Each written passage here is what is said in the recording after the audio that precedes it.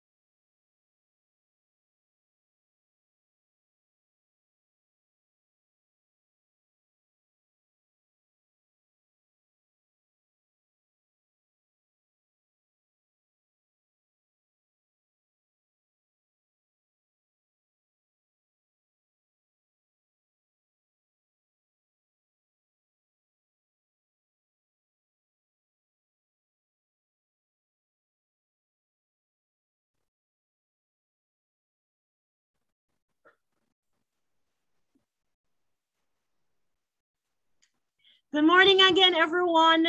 Thank you for joining us. Um, it is now 10.05 Jamaican time, 11.05 Bahamian time. Thanks again for your patience. And we're gonna start now. And as other participants and students come on, we will admit them. Again, we just really appreciate everyone joining us today for our annual Heritage Month lecture about the history of Junkanoo in the Bahamas. And we just appreciate everyone from Jamaica and the Bahamas joining us today. We have representatives from the Ministry of Culture in Bahamas, the Ministry of Culture in Jamaica, as well as students from Jamaica and the Bahamas today. So again, welcome, welcome everyone. And I am just now going to do very brief introductions of our moderator and our lovely and beautiful Junkanoo. Miss is Arlene Ferguson. So to start off with um, Mr. David Brown. Mr. David Brown is, I mean, Mr. Brown's resume is long, long, long, everyone. Um, but he worked at the Institute of Jamaica for many, many years. And he has published in all sort of journals. And he is currently at the Ministry of um, culture, entertainment, gender, and sport. And uh, for Mrs. Uh, Nash Ferguson, she holds a Bachelor of Degree Art in History from McMaster University in Canada. And she is a veteran educator. And she has served formally in the field of education for 24 years. Um, she has worked in positions at government high schools and at the College of the Bahamas and St. John's College.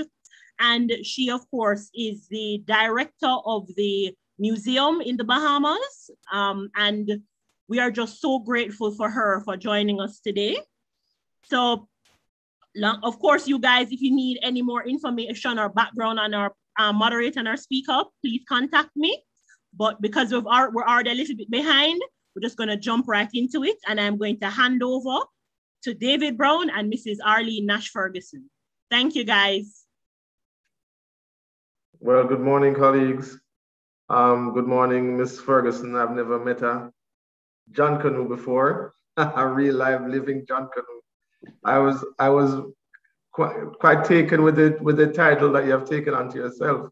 And as I was discussing with, with Alexis, that um, does it mean that you practice John Canoe or you identify with almost like an ethnicity, which is even more more interesting for me. Um, by way of, of my own um, interest in John Canoe as a researcher at the African Caribbean Institute, which is a division of the Institute of Jamaica, for many years.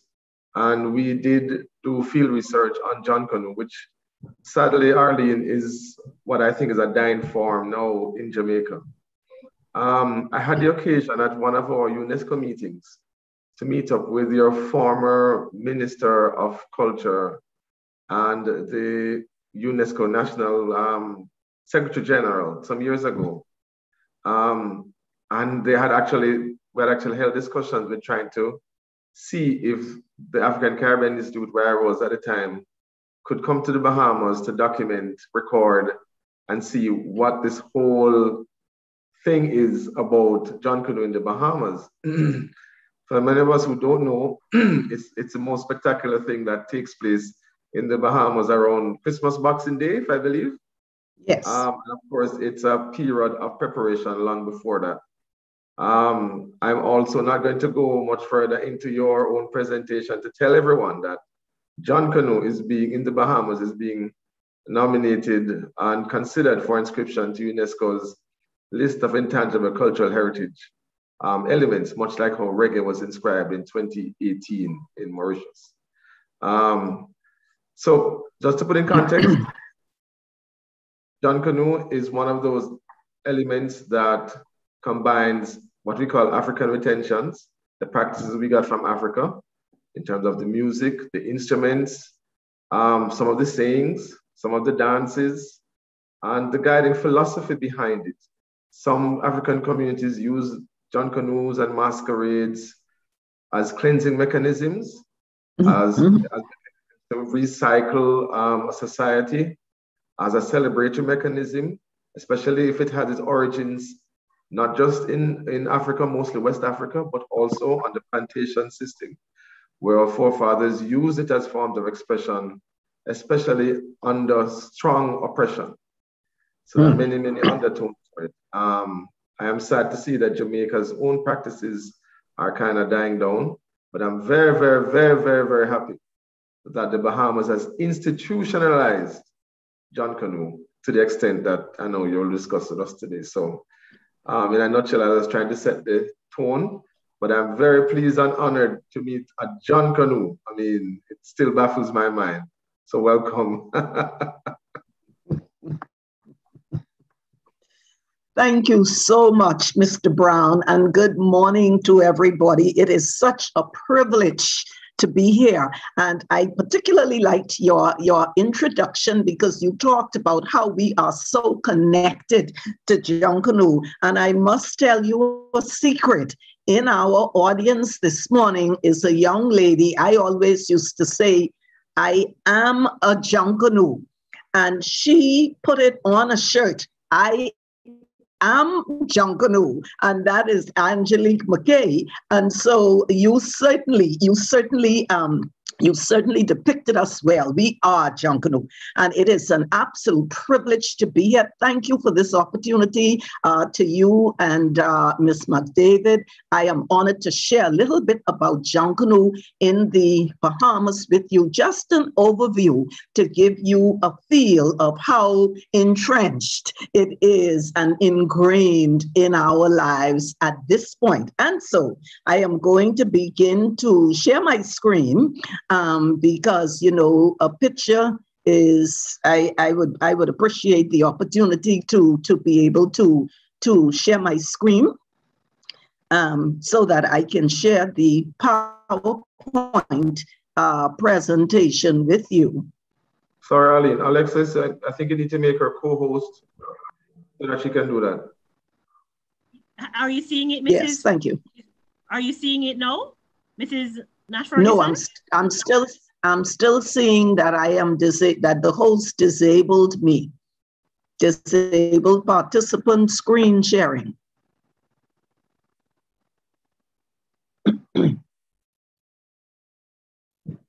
Hold on, everyone. I thought I had enabled it. One second, please. Forgive me. No problem.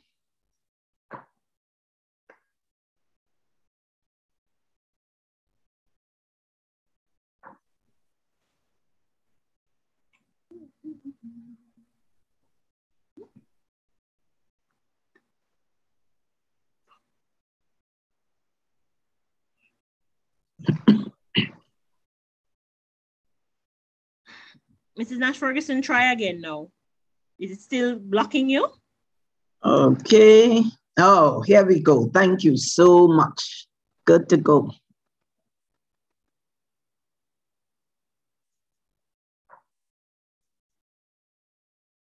Okay, here we go.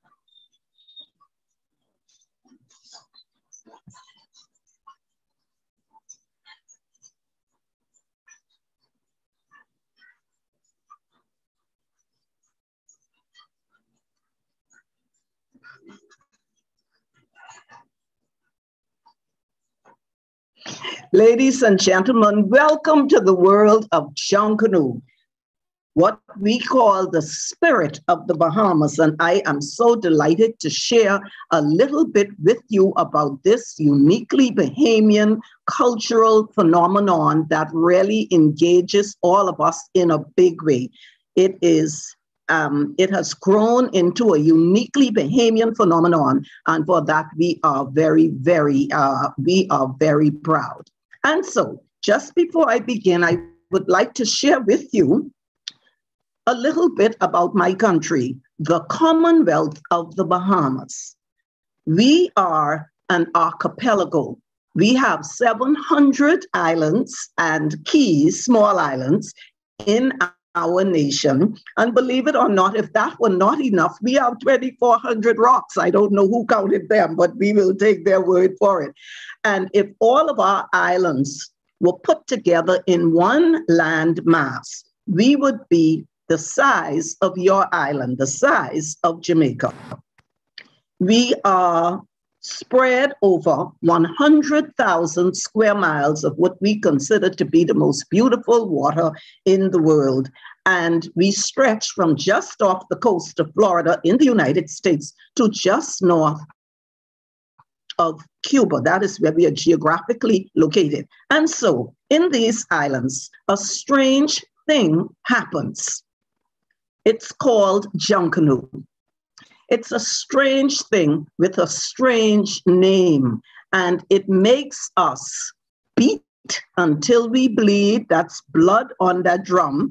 It makes us work ourselves into a frenzy. It makes us dance until we drop, even if you are my age. It makes us keep the children up all night.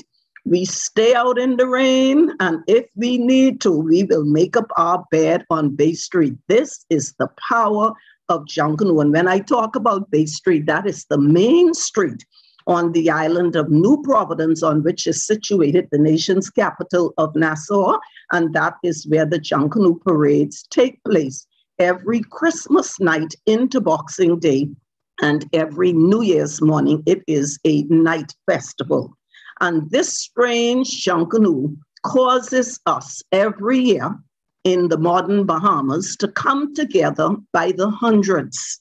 We spend hundreds of hours building shacks the, the buildings where we make our costumes. Then we have to make our costumes. We make our musical instruments we move hundreds of people in perfect formation, in costume, and making our own music from one end of Bay Street to the next.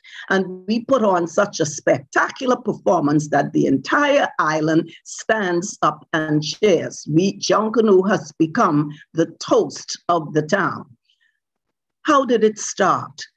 Why are we getting up in the middle of the night? Why are we spending all year in these shacks to get ready for this parade, which with today, the parade, I call it our experience. Our it begins on the continent of Africa with specific reference to West Africa. Our African ancestors, as you know, we share a common history were brought to this, to the Western Hemisphere by force against their will. And they were, they were enslaved to create the, to create the workforce that was needed in our part of the world. And so that is where our story begins. And, and you know the story well. We are captured in West Africa we are marched out to the coast in most instances. And when the slave ship arrives, we are packed into the hold of the ship.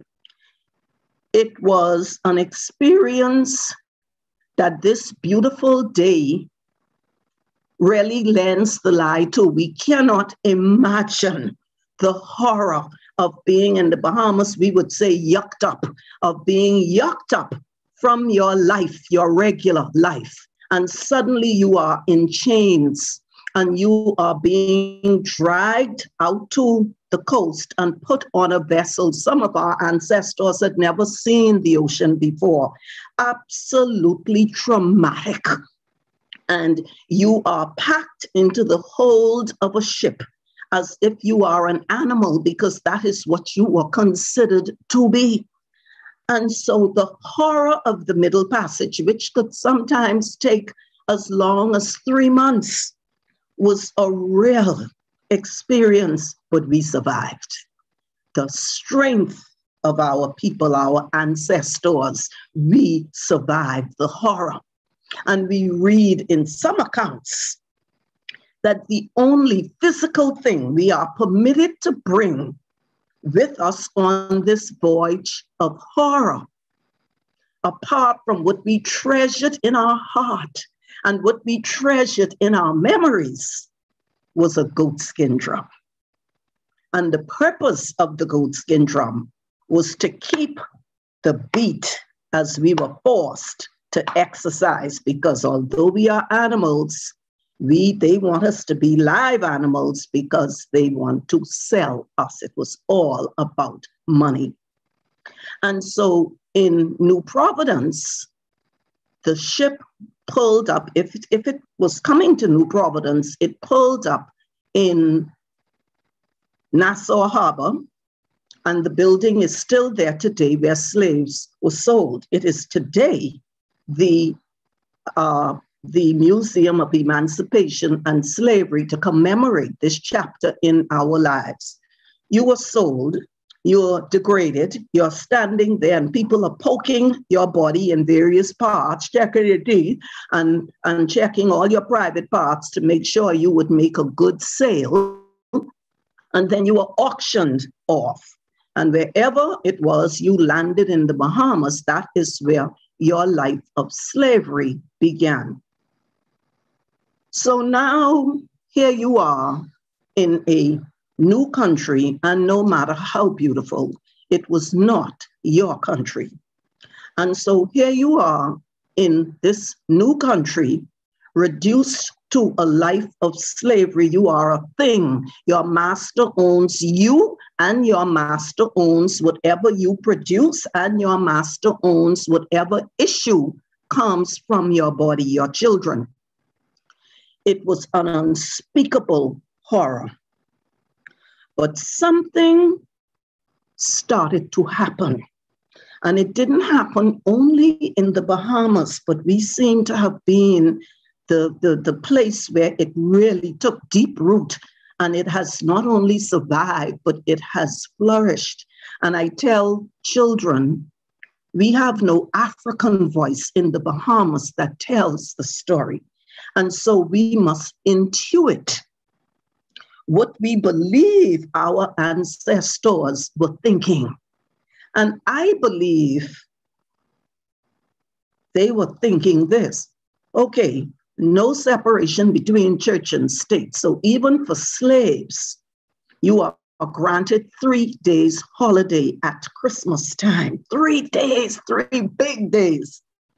I believe our ancestors, their thinking went like this. So what will we do with these three days? Well, if we can escape, what's our next best option? Well, you know, these people have us classified as slaves when the uh, as animals when the list the inventory from the plantation goes to new providence every year we are listed right there with the sheep and the cows and the goats we are animals but we cannot be animals because when we were back in the mother country, we celebrated every rite of passage in the human experience. When the baby was born, when we named the baby, when a boy became a man, when somebody died, we cannot be animals because animals don't have rituals and ceremonies and festivals. And so we will use if only we will use these three days to remind, if only ourselves, that we are members of the human family.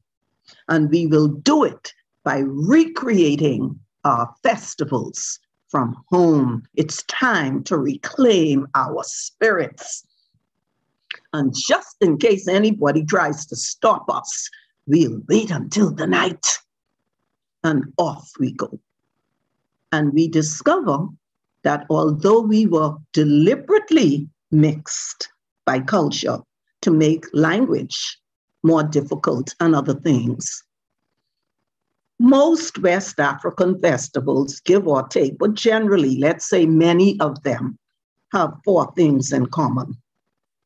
We discover that we all use a goatskin drum, some kind of bell or rattle or shaker you decorate yourself fully for your festival. And when you cover your face, it symbolizes the presence of the ancestors. And so, research shows us that there are a number of West African uh, cultures that have similar practices to what has today become Junkanoo, and also similar names and, you know, as Dr. Nicolette Bethel tells us, what the British thought they heard and what they heard could well have been two different things. And so we believe that Junkanoo, the name um, originated not only from John Canoe, uh, a, a, very distinguished young Bahamian, um, says his name was John Quao. And of course, that is mixed in with the story. But that all that is a part of the story because there were so many different cultures with so many similar festivals. And of course, we know that the ceremonies were going on long before we were packed onto the ships. And so we steal away under cover of night to reclaim our souls and we're in the bush in Nassau. And we know how to make a goatskin drum. We need a bell. Well, we are in, uh, we're on a farm. There goes that cow. Grab that bell from around his neck and we good to go. And for our decorations, initially, we're using plant leaves. We're using sponge, so plentiful in the waters of the Bahamas. We're using anything indigenous. And I tell the children, we'll never know for sure. But I believe that one day something might have floated out of the master's window and you looked around furtively and you picked it up and you tucked it away and ran off to your hut and pushed it under the straw mat that you slept on because you were not supposed to have it. And that's what you brought out at Christmas time to decorate yourself with as a mark of defiance. And they asked me if it is gold, is it silver?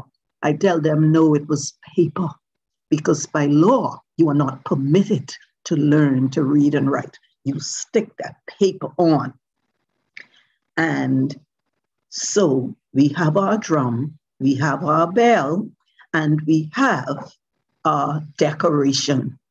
And down through the years, we came until after emancipation, the celebration at Christmas time evolved into sporadic all over the place, no plan, nothing. Just at Christmas time, people took to the streets and had a wonderful time. And so that the powers that be in 1899, they passed the Street Nuisances Prohibition Act, which limited Junkanoo times to Christmas Eve and New Year's Eve, and then again on Christmas Day and New Year's Day.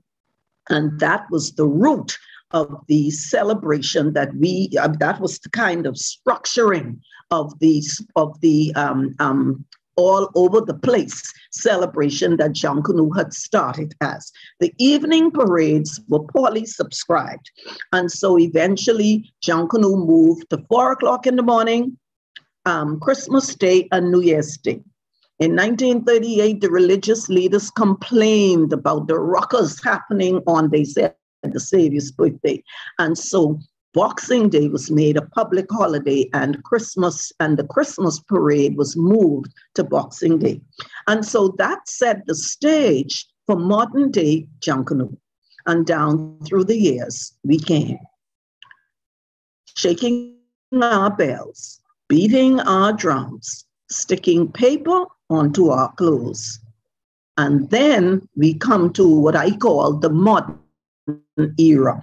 Riots in Nassau, 1942, all street parading is banned. 1948, Junkanoo was back to Bay Street after the six year ban. And from then until now, through the years, we have seen the participation and group size increase. We now have bleachers, people are able to purchase a seat to sit. We have barricades that separate the performers, the Junkanoos, from those who are viewing the parade. The costumes have become larger and more elaborate. In the 1970s, one group brought out brass instruments and they have been on the parade from then till now. And over the years, the route has expanded to accommodate the increase in people participating.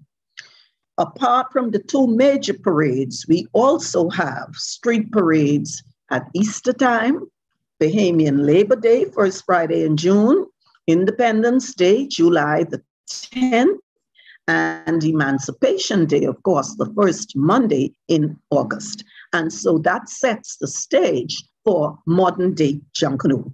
And it is, as Mr. Brown said, it engages us in a normal year for the greater part of a calendar year. We come off the parade from the New Year's, uh, from New Year's. We may give ourselves a month to rest, but even then, we are thinking about themes for the upcoming parades. And so the process starts. And this is what a modern day Junkanoo group must do today voluntarily we organize at least 400 people from every walk of life and all ages. We must find all of the materials to make our own costumes. We make our own costumes. We make our own music as well as our instruments. We have to build our shacks to put our costumes in. And so we manage for I always say if it's 400 people, we're talking about 800 different personalities, and they are all, by and large, they are all volunteers, and they do this big job, and they are not paid. And on top of all of that, we produce a world class product and we meet our deadline every year. There's, there's something called Bahamian time. This is not it. This is, we are there when the whistle blows, we are lined up and we are ready to go. And so, how does this happen? This is the process um, of what I call the Junkanoo cycle. The first thing we always do we have to review the past parades and we look at where we fell down, we look at where we were successful, we get ready to go. We organize our group who is going to do what, what shack. are we going to use all of these things. Then we have to choose a theme.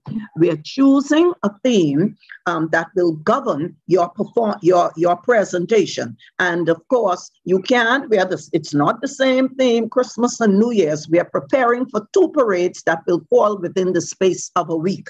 So you're choosing a theme, and your theme must be rich enough and flexible enough to accommodate at least 100 different designs.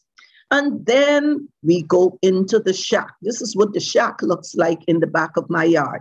You go into the shack and you batten down and you get ready to roll. And then, of course, I'll come to the music um, um, um, in just a moment. But in the shack, the magic is happening. We are scavenging cardboard from the brewery and from the furniture stores discarded material that other people throw away and we drag it back to the shack and the magic begins. In many cases, you will see a sketch like the one in the upper left hand corner. There's an art, an artist will draw what the costume is supposed to look like. And that now has to be translated into a three dimensional costume that you will get to dance in. And so the cardboard is laid out flat on the floor and he has the design there that he is following, and he now has to figure out how he is going to do that. Sorry. And then you have to cut out the cardboard shapes. And then we are going to assemble the cardboard shapes and start to make the costumes take shape.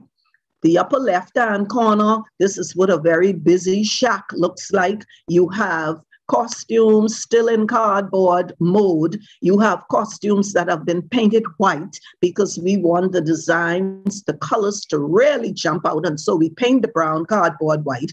And then the artist, somebody else comes along. Very few costumes are done by one person. It's a wonderful exercise in teamwork will come and put the lines on them. You see in the upper, in the lower left-hand corner, put the design in, and in each space there's an initial that tells the paster what color is to go in there. And then the pasters go to work.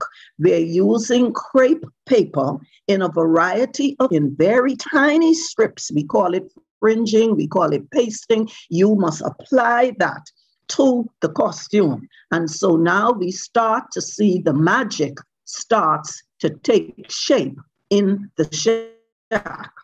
And we are and the lower in the lower right hand corner you see once the color goes on uh, the costumes start to take shape. And so there is a lot of activity and we are going to be locked down in those shacks for months.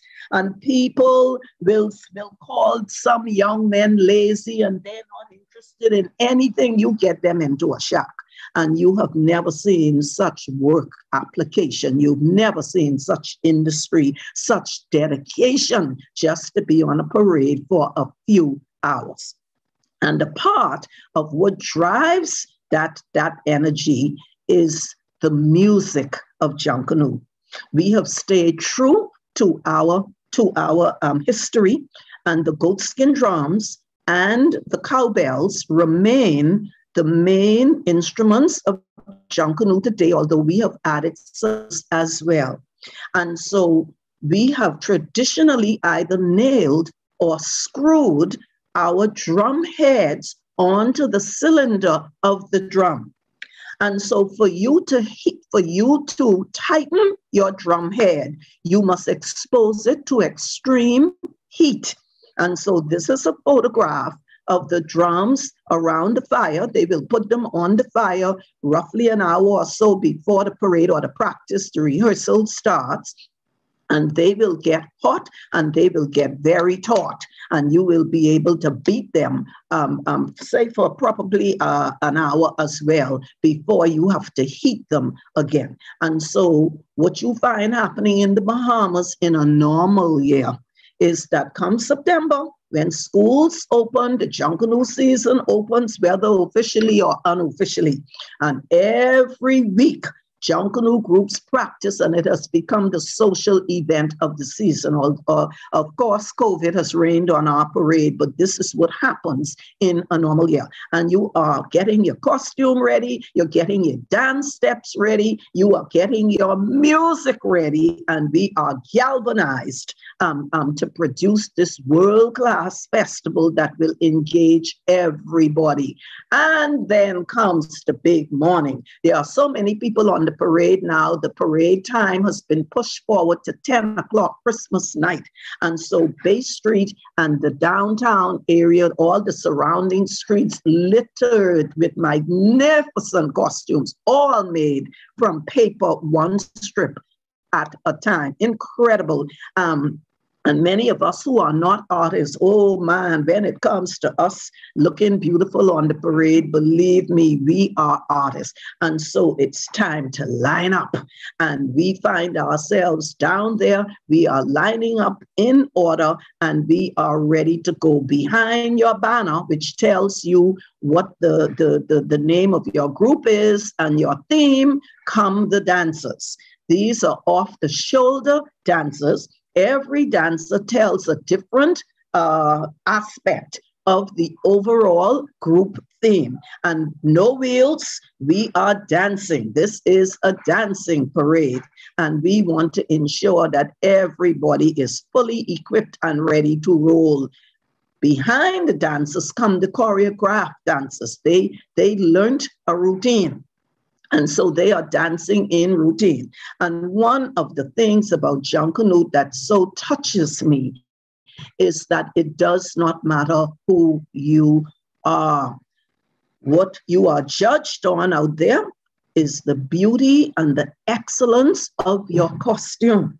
You could be a straw vendor. You could be the prime minister of the Bahamas. And we have we have had five prime ministers since independence, and three have been on the parade um, in costume while holding office. It does not matter. You can be an accountant in a hotel. You can be the housekeeper in the hotel. Once you get out there, all of we is is is is Bahamian, and we are ready to roll. I could remember just as an aside, I could remember when I was offered the position of principal of my former school, where I had actually been a student, I was told that I would have to stop rushing. We call it rushing. And I thanked, I thanked the person and I said, well, in that case, I will stay as vice principal. And they relented because to me, that would have sent the exact opposite message from what I was trying to convey, which is that Junkanoo is for everybody. If because I'm principal, I'm too good or too high to be out there, then uh, no, that's not the right message. And so behind the choreographed girls come the music. And as I said, the brass was introduced in the 1970 brass instruments. And we also have what we call black horns that we are blowing as well. Notice everybody is elaborately costumed, and this is the way it goes. And then behind there come the the bellers, the people shaking the cowbells. And we are making these in the Bahamas locally. We are calling, we are affectionately still calling them cowbells, but no self respecting cow will be caught dead wearing these bells. These are for partying and these are for having a wonderful time. And so the bellers take great pride in their costumes. And over the years, they have gotten larger and larger and larger. And then the bells are around the drummers. On the right, you have a bass drum that's made out of cow skin. On the left, you have what they call a tom tom. It's a tom tom drum off the drum set. And you will find some drummers will use it because they don't need to stop to, to heat up. And so that's a little cheating going on there, but it's become a part of it. And so this drama engages the people of the Bahamas, and we um, we can't wait for it. And we bring our children. This is me one Junkanoo morning with my granddaughter right in front of me. Her little brother is right in front of is right in front of her. And it is a tradition that we are determined to pass on to our children. One of the first gifts that little boys get in the Bahamas, in particular, is a little tiny goatskin goatskin drum. And so, because we want to pass it on to our children, there is a separate junior Junkanoo parade. And that takes place either at the beginning of December or the last time we had it, it took place at the end of January. And this is organized by schools. And so we have the preschool division, primary, we have the junior high and the senior high, and then there's a division there for community groups. And so the children get out there and they do what it is um, we feel that they were born to do. And so when it comes to children, just as an aside here, as an educator, it occurred to me that Junkanoo is very rich um, for exploitation in terms of education. It makes a wonderful unit of inquiry. What I've done with this chart, and I'm not going to stay on this too long, the pink boxes on the outside of the chart, starting from up here, the pink boxes, they trace the process that we follow to get to the parades as Junkanoos. And I have tied every step in with a discipline in the school curriculum. And so that is something that we are hoping that that will soon come to fruition. And we, um, you know, it's a, it's another part of the process of indigenizing education, and we are certainly pushing for that.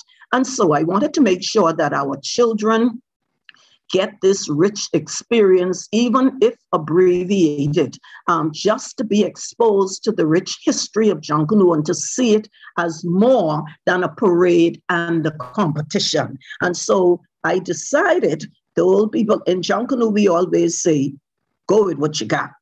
And so to make my dream come true, all I had was the house that I grew up in.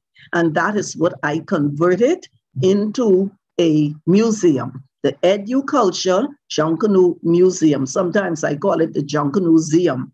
But educulture, that word is a combination of my twin passions of education and culture. And so never be afraid to follow your dream, even as unlikely as it may seem, um, um, it's going to happen. So I put a Junkanoo museum in my house, in my old, um, my childhood home, and the children come there to learn about Junkanoo.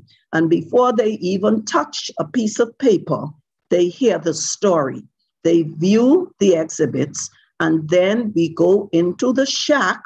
Like I tell them, the shack is in the back of your yard, and we closed in what used to be the back patio. So they step out of the door of the house onto the back patio, which is now a shack and it's set up like a classroom. And they now um, they learn to put the paper on, and we're talking to them about Junkanoo and various aspects of the festival.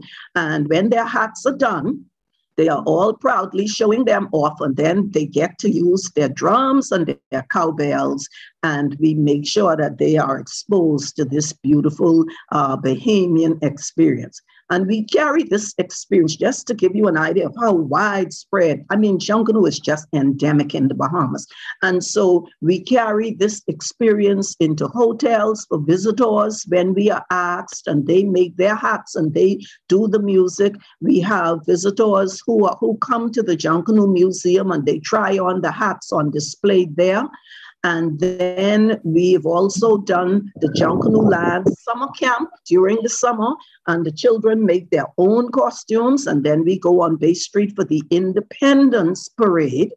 We have we have taken Junkanoo to birthday parties. When Joshua turned four, his grandmother said, We're having a Junkanoo birthday party. And we set up a shack there, and all of his little friends were able to make their little hats and dance around and have a wonderful time our ministry in the upper left-hand corner, our Ministry of, of, of Tourism every year does a Junkanoo Summer Festival, and we take our museum down there for our visitors to get a taste of it. We've gone into hotels and put up displays for special events, and believe it or not, we even have Junkanoo weddings. And this one was magnificent, right on Bay Street in the heart of the capital, and the bride had on a beautiful Junkanoo headpiece, and her, her train was pasted. It's all paper, and and all of the attendants were in full Junkanoo costume, just magnificent. And the other part of the story we also have Junkanoo funerals. If you are a Junkanoo and you pass away, we are going to pay tribute to you in the way we know how best. And so there will be a banner with your with with with the information on it, and some people will show up in full Junkanoo costume. In this case, this was the funeral of, of, of a Bahamian legend and icon, John Chippy Chipman, and he all the he made the goat skin drums and his casket if you notice was covered with with with, with goat skin and so this is what happens in the bahamas Junkanoo has been on the on, on the Bahamas customs inspection sticker. You come through, um, you come through customs, and if all is well, they stamp a, junk, a Junkanoo sticker onto your bag. And so, ladies and gentlemen, I hope that I have given you just a taste of this strange thing that grips the people of the Bahamas. Junkanoo. And as I said, I always tell the children when we say, let's go to Bay, that is the rally cry for Junkanoos. Um, that means we're getting ready for the parade. And when the children at the museum ask me, are we going to Bay Street? And no, no, no, no, no, no, no. We'll use it as an acronym, as an acronym. It means beyond and above yesterday. Every single day, you must be better than you were the day before. And so, ladies and gentlemen, that is that is what I that is what I wanted to share with you this morning. And I thank you so much for listening to me. I am not sure whether or not we will, um, I'm not sure whether or not we will be permitted questions, but I thank you for, for, for, for, for listening to me.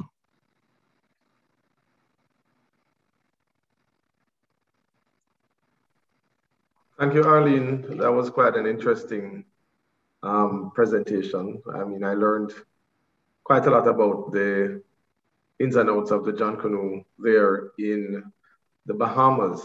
Thank you. Yes, we will open the floor to questions, but I just wanted to give a recap of the main points and to throw out some, some of my own questions mm-hmm. um, that will probably spark um, additional um, discussion. Mm-hmm. First thing is that, and I know everyone may have that question is how the word Junkanoo is spelled. And in Jamaica, you have variations of J O H N C A N E, as in John Canoe. Canoe, right. Yes, or John Canoe, like how you have it.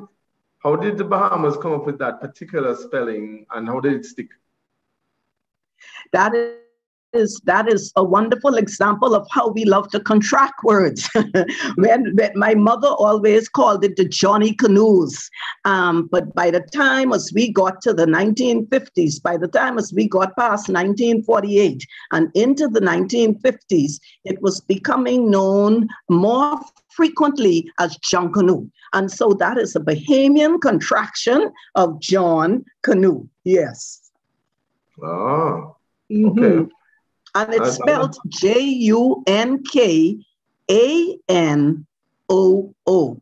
Uh, we had a we had a very prominent musician some years ago. His name was Dr. Off. He was a notorious junkanoo, and he looked at that word and he said, "You know, this is what it is. We take junk and we make it new. and so, and, and, so, yes, but it's it's Junkanoo, yes.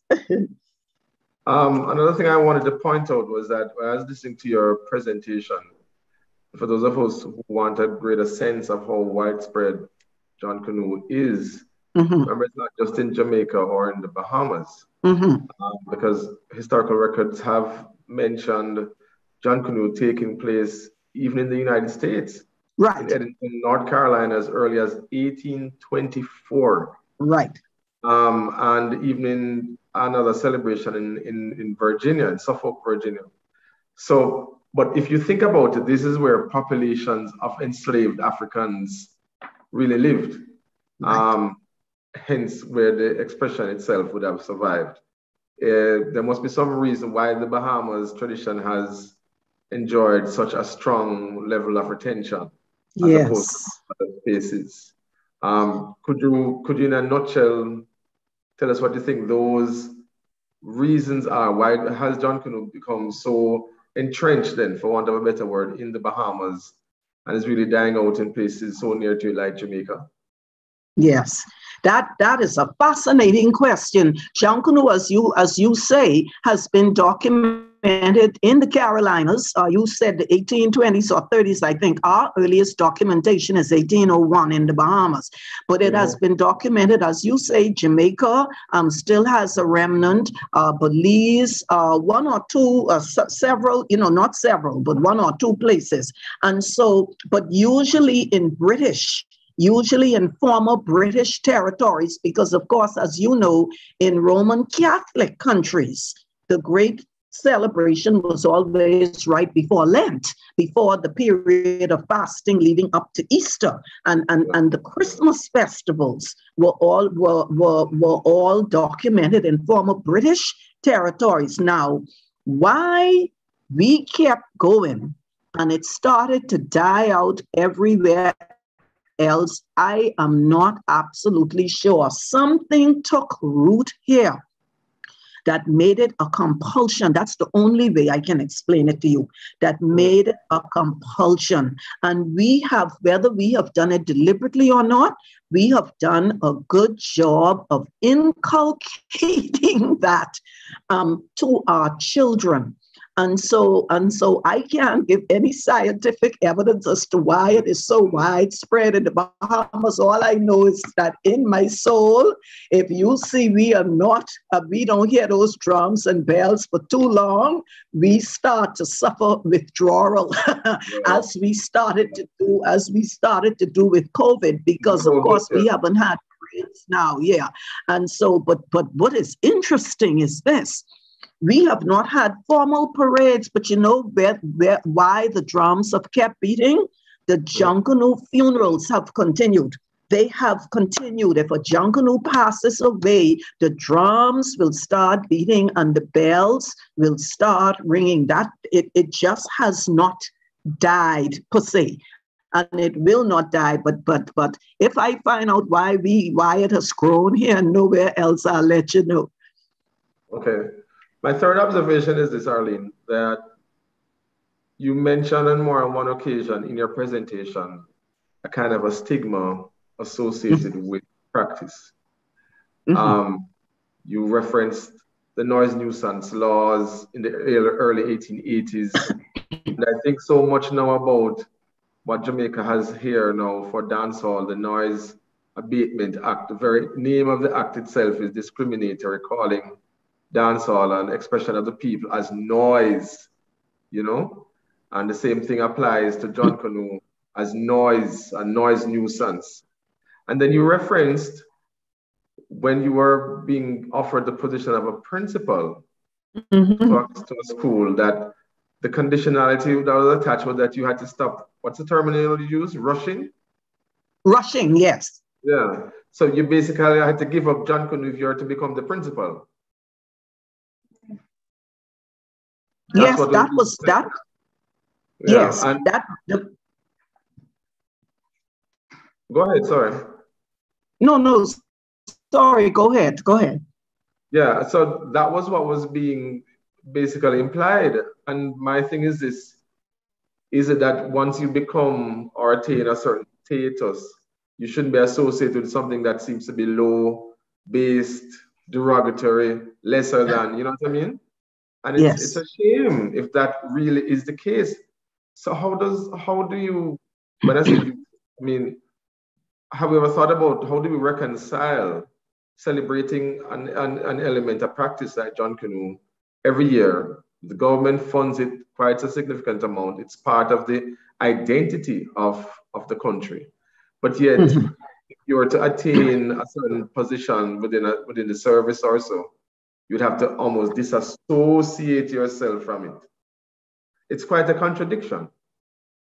Yes, and and thank you so much. Well, let me put it into a time frame because I was approached to become principal in 1988, and I would like to think that that has changed now, and and and one of it has really changed. When I was a little girl and I wanted to rush, uh, it was considered infradig and something that not good people did from certain classes. This was the perception.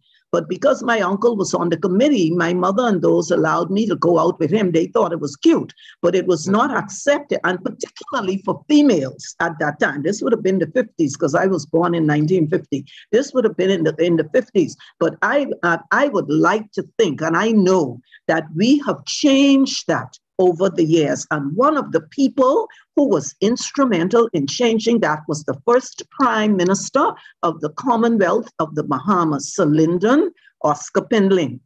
Sir mm. Lyndon stood up, he was opening an exhibition on Junkanoo at the Department of Archives. And he stood up in his speech and he said, I am a Junkanoo. And ah. he backed that up that Christmas by being on the parade in costume. And that, I think, in many ways, might, might, might not have been the only thing, but that helped to unleash the floodgates because students coming back home now everybody jumped in the street. And and so now today you it's not unusual to see the prime minister out there. Everybody is out there. Government ministers you have priests who are out there. It, I, I would like to think that we have dispelled that. That class thing, I would like to think, is completely gone now. Okay, that's nice to hear. Well, all right. I'm going to open the floor for questions. Um, please feel free to, uh, by show of hands. Um, and um, either Arlene or myself would be more than happy to respond. I know we're under a time limit, so um, please make your comments very succinct and direct. I had a question um, for Mrs. Nash Ferguson. Um, I was able to watch um, that amazing um, segment on BBC travel show that was aired this year that featured yourself um, and talking about Junkanoo in the Bahamas. Mm-hmm. Um, and I know you kind of briefly touched on it about how you've been able to adapt for COVID. Can you just tell um, our audience who were not able to watch that segment like myself um, a little bit more about how you adapted for COVID? Yes, thank you. I think I described Junkanoo as being um, um, the story itself of resilience. Um, as I had mentioned before, we are a beautiful country, no two ways about it. I cannot tell a lie. The Bahamas truly, we, we consider ourselves to be blessed.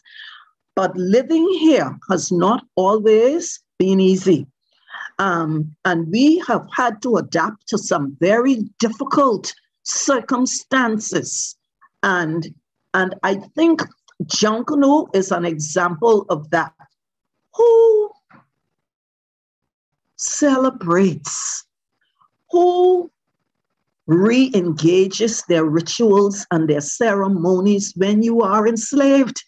I mean, what causes your spirit to continue to flourish in the midst of this horror? And I think what we see in Junkanoo, we see replicated in, in and throughout the Bahamas and our approach to and our approach to these things. And so I think it's the spirit of resilience that we see in Junkanoo. That's the same spirit that caused us to look, and I'm, it happens in Jamaica. We looked into the bush and we created a pharmacology to heal ourselves. We were just determined to survive. And I think Junkanoo is an excellent example of that. And I'll tell you something that gave me goosebumps a lot of young people perhaps may not know the story that I told you. But what I found strange was that when the shacks opened at the beginning of the season, and these young men from all walks of life, they walk into the shack and the excitement is bubbling because we're getting ready to go back to bay and they don't say, I come to get my costume. They said, I come to get me. And that is what I named my book because I found that to be so profound. They did not know that their ancestors had gone in the bush and used what we call junkanoo to reclaim their spirit, to reclaim their souls, to reclaim themselves. And here are these young men 200 years later reenacting that ritual in their modern way, uh, but they're saying, I come to get me. It, it gives me goosebumps to this day. And so it's a deep seated re- resilience that really was born of necessity. We had no choice. We had to survive. And so, Ms. McDavid, I hope I've answered your question. That is the best that that is the best that I can do. Junkanoo itself is resilience. Thank you so much. Thank you, ma'am. Yeah. I see Rodna has her hand up. I will be quick because I am at home and I have other persons around, but I just want to comment being born in the 80s and growing up through Junkanoo that I agree totally with Ms. Ferguson Nash that it has changed. Growing up, I remember there were some, it was uh, still considered a bit not for females to be a part of Junkanoo. And as time has progressed, it has, that has dispelled, that has dispersed. Everyone who is anyone, if they're not personally in Junkanoo, I myself, I have relatives they're in Junkanoo and it's still a, it's still a competitive nature. Even if you don't participate you are i'm from Mason's Addition. So she would understand that that area itself is, is and across the street is a one family and, a, and family. Down, you know so we we we are Junkanoo Junkanoo is who we are. And um, covid-19 has been hard for many Junkanooers because that's a part of their identity so they Amen. look forward to it. They come, they, they, that, that's togetherness for a lot, a lot of people. And people make contacts, their, their contacts are through Junkanoo, their brotherhoods is through Junkanoo. You may be a janitor to work, but in the shack, you are senior man to someone else who is probably the president or CEO of their of their company. So I just want to comment. I cannot stay much longer, but I'm glad. Um, I really appreciated this this meeting. It was wonderful. I, I think educulture, and I've already posted that to my Facebook page. Educulture is a wonderful idea, and I'm looking forward to seeing more and more. Have a blessed day. Thank you, Rodna. Thank you. Thank you so much. And you know, the point Rodna, the point Rodna made about about the, uh, identity. She used the word identity. You know, you will pass a group of fellas walking down the road, making noise, talking loud, maybe bouncing a basketball or whatever it is they are doing, and they are just. Uh, you know, there's nothing to celebrate. There's nothing remarkable. But man, listen here, they might be insignificant for the whole year, but when they get on that parade in their costumes and the whole country is looking at them and celebrating them, she is absolutely right. It is a matter of, of identity. All of a sudden, you are not invisible anymore. You are what we call here a big dog, and that is that is a big thing. I see Miss Farrington has her hand up as well. I'm sorry, I don't know the first name. Good afternoon, Carly Colleen Farrington. Um, hey, Colleen. Hello. I have a question for you, um, Mrs. Ferguson, and piggybacking off of what Rodna said. And you know, I'm coming from you know just where I'm going to come from education. Um, yes, you ma'am. spoke of the, the, the, stigma and how it has broken down in society. Mm-hmm. Um, as an educator, I'm in here. Some of my students are in here, fourth grade. And there's another educator in here as well. Um, how do we get that same, what do you think would be the approach? Because we're not seeing that same stride in education. We still have that stigma where with Junkanoo, like junior Junkanoo in particular, we've seen a decline when the country was open in New Providence schools participating. Um, Lavarity Cooper can um, attest to this. I, as a coordinator, can say it's always a fight. You mm-hmm. have to convince the schools and district principals that, you know, this is good for the students.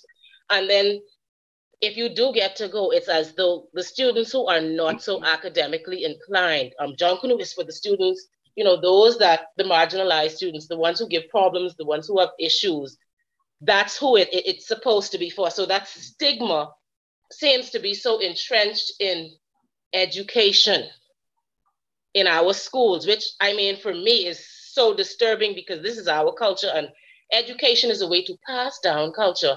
But for some reason, Junkanoo is just being pushed to the side. Even in our mm-hmm. textbooks and our workbooks, maybe a page or two. So how do we get there where we are going to have this same, where we have this same breakdown, this change in mindset mm-hmm. at how mm-hmm. Junkanoo is looked at in academia? Because as I listened to your presentation, and um, the thought came to me, you can't tell the story of the Bahamas, of Bahamian history, without mm-hmm. Junkanoo. Mm-hmm. They are one and the same. Mm-hmm. How do we get this message to the min- our Ministry of Education to understand this is our history? It's not just about the parade, it's not noise, it's not rushing. How do we get that part where it's in schools, not just something mentioned, but we're teaching it? Mm-hmm. How, how are we going to get break this wall down? Well, that is an excellent question. And before I answer. Let me just congratulate you again publicly on your Junkanoo math parade that you did at your school. It was absolutely too creative and too and and and, and just just beautiful. Congratulations. Well, um, you this is what I would say. You are in this room, so is Angelique, so is Sadira. We are all teachers. And I think we need to make a commitment right here and now that we are going to get together. I believe what John Ruskin said. If it's to be, it's up to me. If we we have to present a proposal that, and we've done the groundwork already, well thought out, powerful, that shows the link between Junkanoo and education and the benefits of it to our, for our children.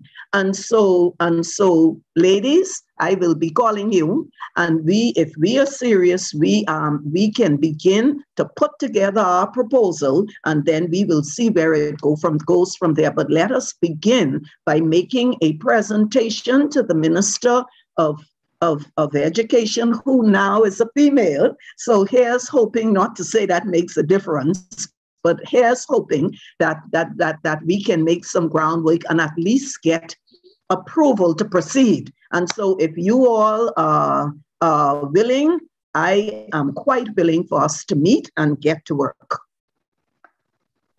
Thank you so much. Well, you know I am on board 100%. Yeah, you, you talk yourself right into plenty boy. Thank you. I saw Sadira Livarty Cooper having have her hand up. Um, I don't know if you have a, a comment or an intervention. I, um, I, good afternoon, everyone. I am happy to be invited by Colleen, and as she said, as passionate educators, and I would have been a participant of Junkanoo from a little girl. It it is very true what she's saying, and I it has impacted my life in such a way that I was so proud to be privileged and a part of, of being exposed culturally through mm-hmm. participating as a little girl. And so it is important for us to share and continue to cultivate and, and share this with our children. Mm. Mm-hmm. They would they would be missing out if they are not exposed culturally to Junkanoo as our culture.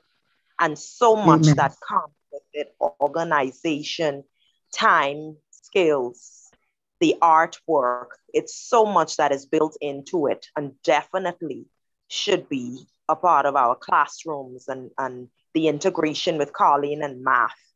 It should mm. be a part of all our lives from children. Mm-hmm. That's an important part of the process, Dorleen. And I go again, I reference again the um, nomination for UNESCO inscription. Mm-hmm. As a main part of it um, that would support the inscription is the fact that, as you mentioned, each year um, children have their own Junkanoo. And even outside of that, they themselves are allowed to view, to see, to participate in some other aspect of the quote unquote adult Junkanoo. It's something that allows a tradition to be passed on from generation to generation. So your grandparents, your grandfather, your grandmother did an aspect of it. You would come up probably doing a costume or learning to play a drum, this kind of thing. Um, so the tradition is being safeguarded through that transmission process. Mm-hmm. Um, not just because the practice itself uh, is, is continuing, but also because, as you mentioned, aspects of it are being incorporated in the educational system. Still more room and work to be done there, but it's actually mm-hmm. being now facilitated by that rather than being shunned if it were under, say, a kind of a yes. post-colonial kind of narrative that says that these things are bad and not to be done and this kind of thing. Mm-hmm. Mm-hmm. So I wanted to commend you and your colleagues, and who all of whom sound like teachers, by the way, um, for the work that they're doing in safeguarding that tradition. Now, if we have yes. um, we have time, I believe, for one final question or comment. I remember um, Sadira had said, was it Sadira or, or Carlene had said that there was a student on, on, on, the, on this call. I don't know if they had a comment or an observation they wanted to make.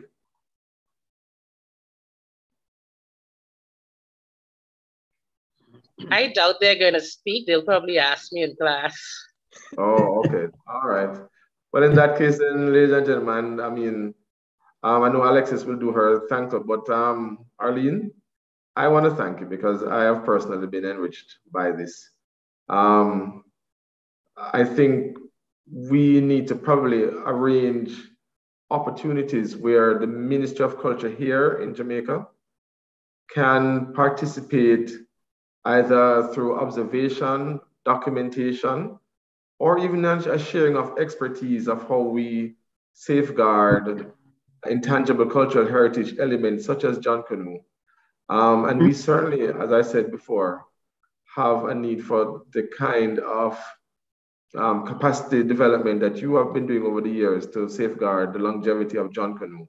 Where in Jamaica, mm-hmm. it's now a dying um, practice. So there is clearly some mm-hmm. room for negotiation and discussion. And I hope outside of this, you and I, uh, through Alexis, can continue this kind of discussion. Um, and if you still, if you still insist, Arlene, on sending me to come to to Junkanoo in in December, I, I have I have no objections. and I will. I'm inviting myself. Yes. Thank no you. Shame. no shame whatsoever. And, and it doesn't look as if anything will happen this year, but I will keep you all posted. and right. I thank you so much for, for, for, for your hospitality. Truly, it has been a pleasure. I see oh, Angelique. Angelique has a comment, sorry. Mm-hmm. Hi, everyone. I just didn't want us to sign out without um, letting the world know that Junkanoo is, in fact, the greatest show on earth. Mm-hmm. Amen. That's my only comment, and it's it's been very enlightening, um, Mrs. Ferguson. You gave them a good taste and a good inside look. Thank you. As to what the greatest show on earth really is and where it takes place. Yes. Just, just, just, just, just um, for your thank you, Angelique, and just for your information, just to say Angelique uh, created a group called the Junkanoo Commandos. And they their mission is to carry Junkanoo around the world. And they have performed in all parts of the world carrying the message of Junkanoo. We salute, we salute her work and her vision. And, uh, you know, it has really been a, a, a, privilege to have her and all of these other creative young people uh, uh, in this in this this morning. Well, right, thank, thank you. you. Over to you, Alexis. Well, thanks so much, everyone, for joining us. Um, our Zoom family, our YouTube family, and there was no questions on YouTube, but just to let everyone know, that this presentation will be there so that it can be shared and watched by everyone um, and hopefully more of our students will watch it. Um, thanks again so much, Mrs. Arlene Nash Ferguson and Mr. David Brown. Um, the time difference as well in the Bahamas. Mr. Brown is not in Jamaica currently, so he, he as well is traveling and we just really appreciate everyone taking out um, their time today out of their very busy schedules for this presentation. And as um, was said by Angelique, it is the greatest show on earth. I fully have bought into that tagline. And it really also ties into the title of our present um our lecture, which is Kaleidoscope of Creation. Creation, right. To really see that from the presentation, the pictures, I mean, again, I'm very ready to come and participate um, and be a part of that kaleidoscope um, and make the t-shirts of the kaleidoscope with me in it. Yes, yes. Um, so again, I appreciate it. Thanks again um, to everyone at National Museum Jamaica, my director, jo Dr. Jonathan Greenland, for allowing us to have this presentation it has really enriched all of us. And again, I'm just putting it out there too, just like how you have enriched us. We are very willing as well to do a presentation on Junkanoo in Jamaica mm-hmm. For um, our Bahamian students and Jamaican students as well. Yes. yes. So again, we're very, very open for further collaborations and further presentations. So thanks everyone. Be safe. And again, God bless. All right. Bye, everyone. Thank you. Thank you again. Thanks, Mr. Brown. Thanks, everyone. Thank you. Thank you.